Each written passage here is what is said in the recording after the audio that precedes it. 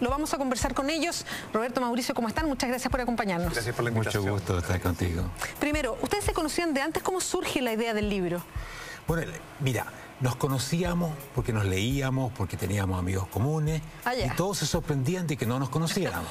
¿Pero por qué? ¿Porque tenían una historia común? O un... Claro. Sí, ah, perfecto. Veníamos de la izquierda revolucionaria, alguna yo más revolucionaria. que- en este caso, y. Juventud Comunista. cree. Y, y, bueno, no, si era cierto, si era cierto. Y después el exilio, la evolución, dejar el marxismo y llegar finalmente a ideas liberales. Eh, así que había esa evolución paralela, pero sin, sin encontrarnos. Y, Hasta- perdón, ¿y cuándo se conocieron? Nos conocimos en octubre del año pasado.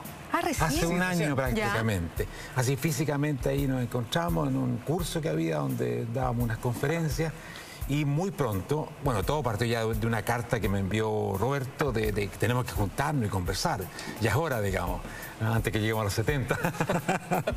y eh, decidimos juntarnos en la casa de, de Olmué, de Roberto, una muy bonita, un jardín, un parrón, el Cerro La Campana. El 5 de diciembre nos juntamos, sin mayor programa, pero con una grabadora.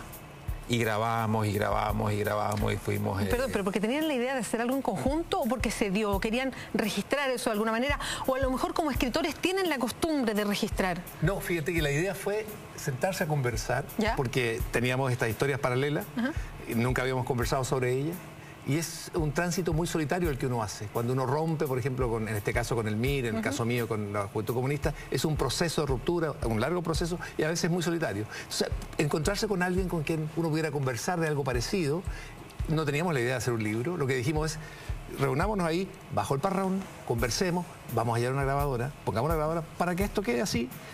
Y de pronto nos dimos cuenta, estuvimos tres días conversando. Desde las 6 de la mañana. para conversar, digamos, ¿no? para conversar. De las 6 de la- eh, no, no, no está todo aquí, menos mal. No, pero de las 6 de la mañana, 7 de la mañana comenzábamos en verano rico ahí Sí, en Almué, sí. hasta tarde. Roberto se levanta súper temprano, entonces, además nos reímos mucho. Sí. Yo creo que era- era- estábamos contentos. Pero fue una catarsis también. Sí, por supuesto, por supuesto, fue un encuentro importante porque tú vas por ahí, por ese camino donde has hecho cosas que son desgarradoras, a veces incierto.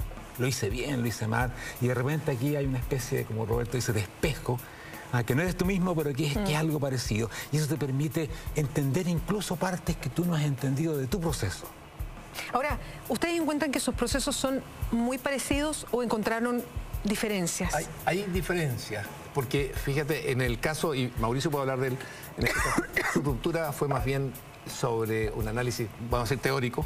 El mío fue una ruptura con el totalitarismo por la experiencia de vida, por haber vivido detrás del muro en la Alemania Oriental y en Cuba. Entonces, eh, yo, mi ruptura con, con esta ideología eh, no se debió a textos no tenía la posibilidad tampoco de recurrir a textos en librerías, en bibliotecas, porque sim- simplemente esos, li- esos libros están eh, prohibidos, no están autorizados en países en ese momento comunistas. Eh, y por lo tanto, desde allí se daba una evolución distinta. La mía es ir descubriendo lentamente en, la RDA, Alemania Oriental, que desapareció, y en Cuba, que aquello que yo estaba viviendo no lo quería para Chile. No quería ni a Pinochet, no quería dictadura de derecha para Chile, pero tampoco una dictadura de izquierda, ni de Honecker, ni de Fidel Castro. En ese, ese fue mi proceso. El tuyo fue Hay una diferencia también en el comienzo, porque yo llego al MIR, que es la izquierda más revolucionaria, eh, ya dispuesta a tomar las armas y que toma las armas en democracia contra Eduardo Frei Montalva. Eh, El MIR pasa a las acciones directas, o sea, es, es una idea distinta. El Partido Comunista piensa a largo plazo, que no se pueden apurar las cosas en Chile. Nosotros pensamos que ya ahora hay que lanzarse a la revolución. Eh, por lo tanto, eh, yo creo que el MIR tenía un mensaje mucho más eh, que, te, que te hacía experimentar con más fuerza la idea del Mesías, de que está cambiando el mundo aquí y ahora, no en